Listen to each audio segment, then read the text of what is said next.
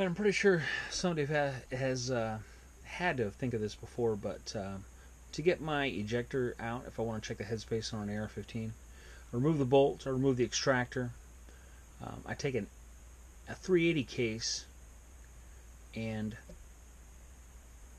pinch it with a 9mm case just so I don't mar the end of the bolt. I don't have a non-marring vise.